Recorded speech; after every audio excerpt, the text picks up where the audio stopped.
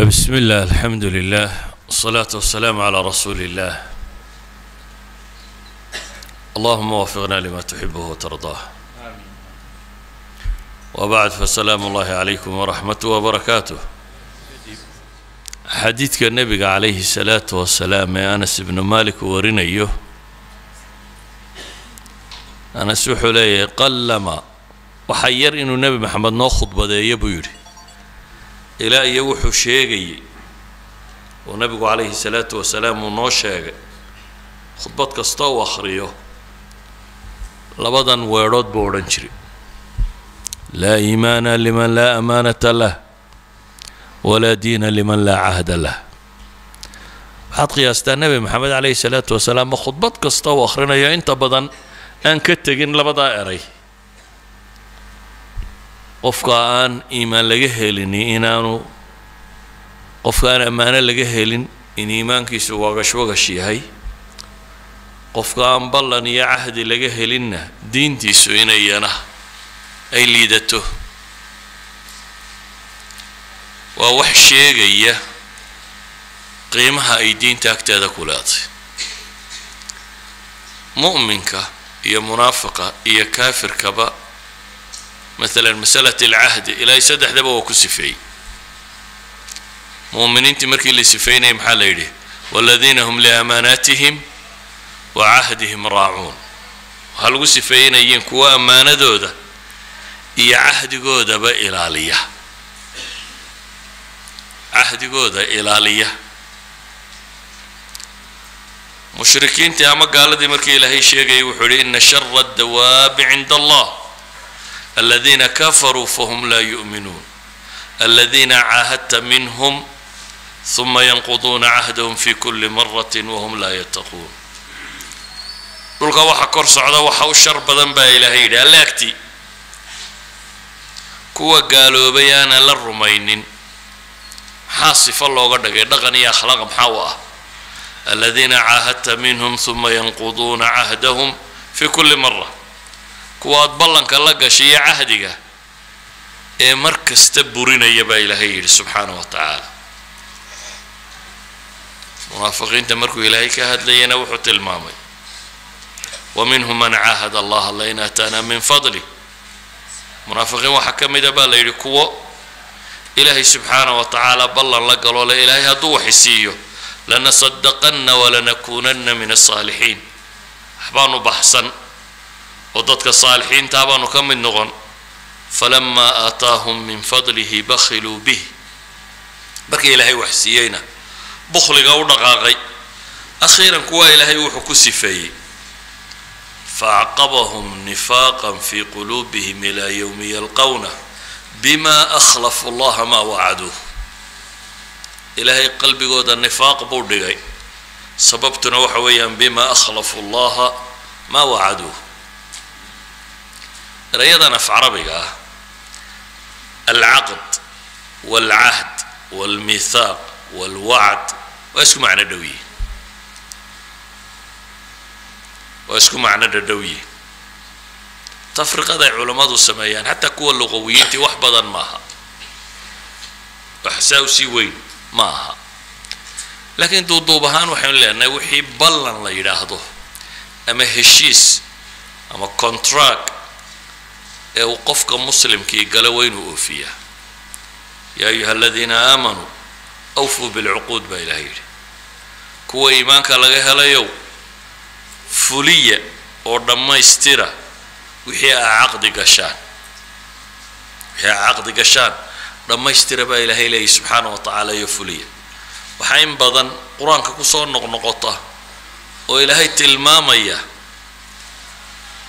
fulinta cuhuudda ina alcahda kaana mas'uula wixii ballan aad gashay ama cahdi aad gashayna waa la isweydiinaya duul baa ilaahay sheegaya inay malcuunuun yihiin ballankay buriyeen daraaddood fabimaa naqdihim miihaaqahum lacannaahum haddaynu is nidhaahno qur'aan oo quro akhriya aayaadka ama miithaaq ku soo arooray ama cahdi ku soo arooray ama wacdi ku soo arooray ama caqdi ku soo arooray ee ilaahay kitaabkiisa ku yaalla.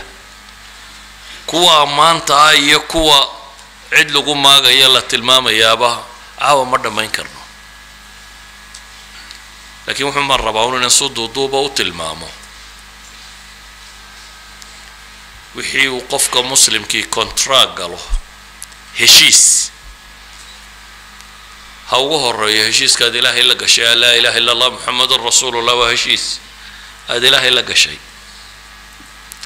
Ha ku xigaan heshiisyada kale ee aad khalqigiisa la gashay. Gal iyo muslim cidduu doono ha noqdo. Qofka muslimkii waa inuu heshiiska furiyaa.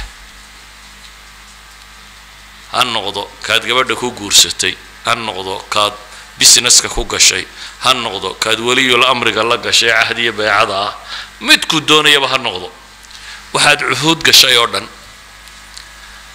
malaa dadku tusaalehay aada wax ugu fahmaya ogyihiin aan laba midhoo tusaale ama saddex tusaalaha tilmaamo nusuusta badanba ka tago. Nabigu calayhi salaatu wasalaam iyo quraysh sulxu xudaybiya heshiis bay wada galeen. Heshiiskii oo la wado oo aan weli la qorin. Ayaa waxayse soo taageen nin muslima abu jandal nin muslima uu dhalay odayga nebiga heshiiska la gelaya calayhi salaatu wasalaam oo maka lagu toorjargareeyey oo soo baxsadoo silsiladihii ku xidhan yihiin qiyaasada nin muslima oo gaal ka soo cararay oo silsiladaysan oo silsiladihii wata oo toorjarkii ka muuqdo ayaa ise soo taagay. Ninkii gaalka ahaa wuxuu yidhi waxaan heshiiska ugula galo kambaa ugu horreeya heshiiska waxaa ka mid ahaa qodobadiisa. Wixii muslime soo baxsada ee quraysh ka tagay muslimiinta u taga in loo celiyo wixii muslim ka soo ridoobay xagga u soo cararana inaan la soo celin. Wuxuu yidhi heshiiska ah wixii ugu horreeyaan kugula galaa waa kan. Waar weli lama qorin. May heshiisba geli maayo haddaan kaa la celinin. Waa inankiisii karina. Nebigu ilaa xad uu gaadhsiiyey kan iga qalleeh ii dhaaf. Waa diiday nebigu calayhi salaatu wasalaam saxaabigii wuxuu ku yidhi isbir waxtasib raac hadda waa nin muslimo waayo waxaa la ilaalinaya cahdiga muslimiintu galeen isbir waxtasib baa la yidhi sabiroo iska tag waa masalada xadiidka dheer uu ku soo arooray bukhaari ku yaalla cumar iyo abubakar iyo hadalladii saxaabada ka soo baxsaday isla qisadan wax ku saabsan oo labaad aan tilmaamo wakhtigaa koobane abu jandal saxaabigii la odhan jiray haddaynu sheegnay saxaabi kala soo baxsaday oo abubasiir la yidhaahdo. Wuxuu ka yimi gaaladii dabeetana madiinuu yimi. Madiina isagoo iska fadhiyo jooga ayay gaaladii laba nin ka soo daba direen. Waxay dhahaen ninkaasaa soo baxsaday. Waa in la soo celiyaa. Ballankeenuna wuxuu ahaa maxay? Inaad celiso wixii xaggaaga xaggayga ka yimaado abubasiiroo jooga buu nebigu yeedho wuxuu yihi kaale raac nimankan nebi maxamed ma diidi karo calayhi salaatu wasalaam labadii ninbu soo raaca. Gaaladii baa lagu celinaya waayo heshiiskaasaa dhigayay wuu yimi. Dhexda markuu marayo isaga nebiga ka yimi calayhi salaatu wasalaam nimankiina u dhiib. Dhexda markuu marayaa nimankii la iska sheek sheekaystay dabeetana seeftaadu qurux badanaya waxbuu yidho bal itus oo mid buu seefti ka qaado mid buu madaxa ka gooyey kii kalena wuu cararay isagoo kii kale eriyayo haddana madiine ku soo noqdo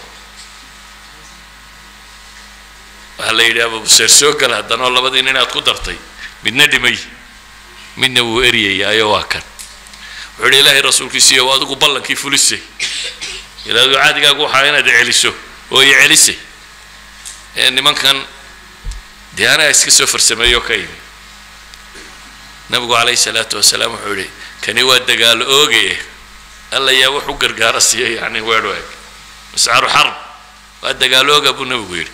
Wuxuu gartay haddii haddana la soo noqdo inuu nebigu celin doono. Markaasuu iska baxa meelaan dowladda islaamku gaadhin oo xeeba buu iska degay aan nebi maxamed xukumin. Markaa dee gaaladu odhan mayso soo celiyo markaa wuu iskaga tegay. Meel kaluu joogaa. Halkaas buu ayuu noqday inuu gaalada dagaal isagu keligii la galo. Muslimiintii wixii soo baxsadaaba madiine ma yimaadaane halkaasay tagaan. Dhowr boqol oo ninoo abujandalkii ka mid yahay baa ugu tegey. Akhiiran gaaladaa time waxay idhaahdeen bandigaa waanu ogolla in laga masaxaa heshiiskii nimankan u naga qabo. Oo ha ku soo noqdaan madiino iyaguna heshiiskaa soo galaan. Inay sulxiga ku jiraan oo nabadda.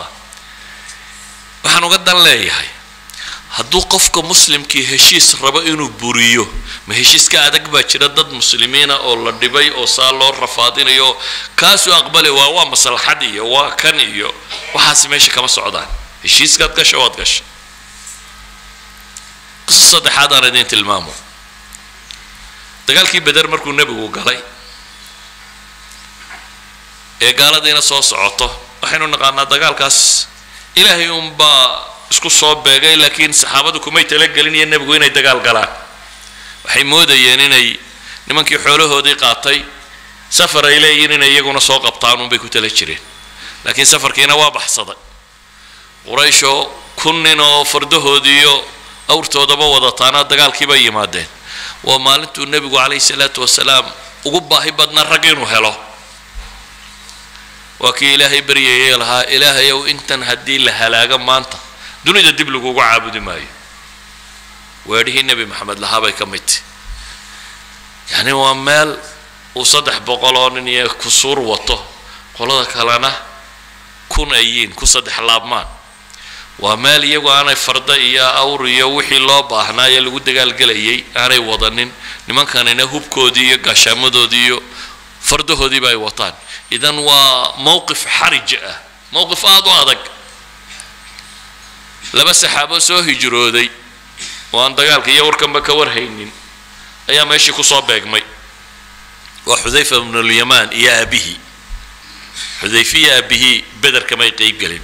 Sababtay uga qeyb geli waayeenna waa tan. Iyagoo soo safray bay yimaadeen. Gaaladaa qabatay. Waxaa la yidhi xagaa ku socotaan. Waxay dhaheen madiina. Aduu markii la wada hadlay waxaa la yidhi maya maxamed baa ku socotaan. Ciidanka halkan jooga. War ciidankuma soconna anagu madiinaan ku soconnaa. Waxay dhaheen ballan noo qaada haddaanu idin sii daynay inaydan ciidanka ku biiraynin. Heshiiskaana la gala.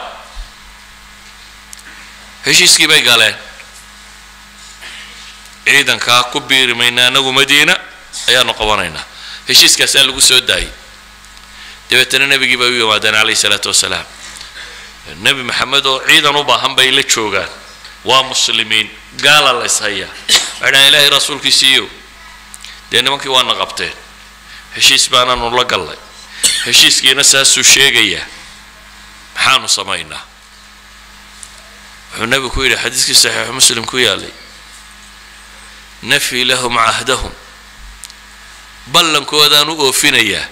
Ilaahayna waa u tala saaranayaa iska taga buu yidhi labadii nin saxaabi heshiiskay soo galeen sidoodaan ugu fulinayaa buu yidhi ma nebi maxamed baa ballanka buriya layga maqli maaye madiinadiina iska qabta baa la yidhi. Ilaahayna waan u tala saaranaya. Haddii mawaaqifta sidaa u adag uu nebi maxamed ilaaliya calayhi salaatu wasalaam mawaaqiftaa halista ah heshiisuu isagu galay iyo mid ay saxaaba soo gashayba miduu isagu galay iyo mid ay saxaaba soo gashayba mawaaqif dagaal oo adag oo uu rag u baahan yahay haddii uu fuliyey waxa ka sokeeya maxaad u malaynaysaa markaa? Contract baaca mushtare iyo haweenay la guursaday iyo cuhuudda uu galo qofka muslimka ahi waa sidaa uu nebigu u sheegay laa diina lah. Diintu waa dhaqan iyo akhlaaq.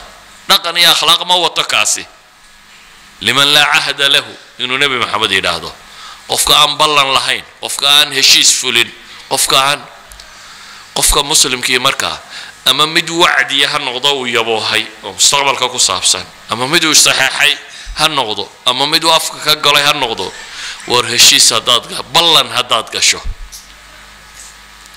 Oofi ballanka oofintiisu bay culammadu yidhaahdaan qadaaya lakhlaynta ugu badan leh waa iskaga mid. Inaad gaal la gashay iyo inaad muslim la gashay iyo inaad munaafiq la gashay waa iskaga mid. Waa gaalo oo waynu iska khiyaamaynaynaa war muslimku waxma khiyaameeyo. Qadrigana kuma dhaco. Qadrigu waa ballanfurow.